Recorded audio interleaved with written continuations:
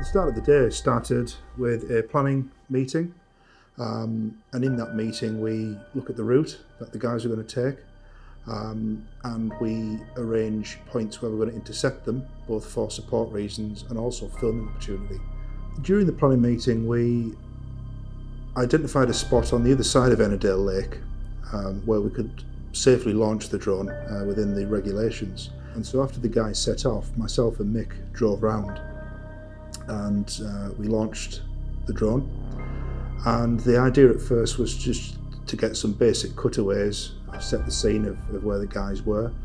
And then as Paul was traversing along the path of Ennerdale, um, we were going to follow him. It was then when I started flying out just to try and suss out light conditions and positioning and framing and whatnot. At first, I have clearly missed Paul on the on the viewfinder. I didn't see him at all.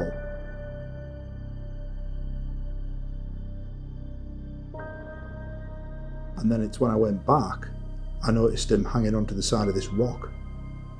And I thought, well, what's he doing? You know, this wasn't part of the plan. I know he's crazy, but he, he, you know, he shouldn't be climbing up rocks. And we didn't realise how serious the situation was at this point.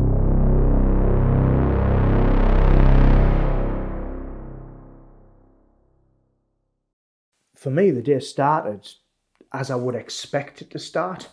Um, we'd got the plan. Um, I knew the route I was taking. Uh, the terrain I expected to be challenging. Um, it was very challenging. And then I came to a point where there was two paths. One running right, which involved a scramble. One running left, which looked like it was kind of going to avoid that scramble. I took the left path um, because it, for me, that was going to be the easy option on my feet. And as I got close to it, I didn't expect what happened next. I lost my footing. I suddenly fell down the side of, uh, you know, the, the mountain. And um, below me was a lot more rock, Ennerdale, water was there. Um, and I'm kind of in this space by now and thinking to myself, this isn't good. The weight of my body, the backpack, was now all on a six inch ledge um, on my left foot. I know from training, from when I was in search and rescue, that panic can set in rather quickly. And I knew I had about 20 seconds to try and figure something out in my head, get myself into a safe position. And that involved me just pushing myself back till I figured out what I was going to do. At this point, I'm aware that Ian was somewhere above me, I don't think he knew where I was because I'd kind of just disappeared off the radar so quickly. But what I did know is I'm staring out into the lake at an extremely high height with a big drop below me, and it's at that point going to be impossible to try and scale back up where I've just come from if I'm facing outwards. So I'm on a six inch ledge. I have to try and turn my body round, try and grip, and get myself into a position where I'm facing back into the wall. I start panicking not going to lie. I'm thinking to myself, this adventure has probably pushed me to a point here that I've not experienced before on any of the adventures. And I even started thinking to myself, I think my luck's finally run out now on these adventures. That's how this was making me feel with the panic. Not long after, I heard Ian shouting to me to stay put, not to move.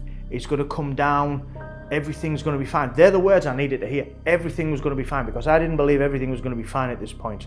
Um, this was a situation that was going to be bad enough in hiking boots, but I had bare feet. And then all of a sudden, uh, I felt Ian grab my backpack. There's a loop on the back of the backpack, and I heard him say, "Just try and find your footing, try and find your hands, and start scaling up. I've got you. I'm not going to let you go." And at that point, I felt him take the tension up. I felt safer immediately, and I started trying to find handholds to try and at least pull myself up on. And the pain on my feet, because those rocks were sharp, that went out of the window. I was almost in life preservation mode at this point, thinking I've got to get back up onto this path. Ian continued to pull me up um, from, from the area where I'd fallen down, um, to a point whereby I could get better footing, um, I could get on my knees, my feet were all scratched on the top, and that was kind of the start of the injuries that rapidly um, came on my feet. Um, and at that point, once I was on the top, I knew I was safe. It was a case of, right, this has just happened. Realistically, I haven't got any time to reflect on this now. I'll reflect on it later. I've got to get round Ennerdale and get back on track with this challenge. Had Ian not been there, I'm not sure how the outcome um, would have transpired from this situation. Because I would have been on this mountainside, above Ennerdale Lake, facing outwards, and people walking past me not even aware that I'm there. And I don't know how things would have turned out from that. All we could do was just look through the, the, the drone's camera just to monitor what was going on. Um, and it was clear to me here that I could be witnessing my friend's death here.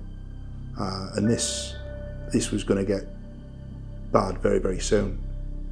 Um, but luckily Ian was there and he managed to pull him up. Um, yes, there was other people on that trail.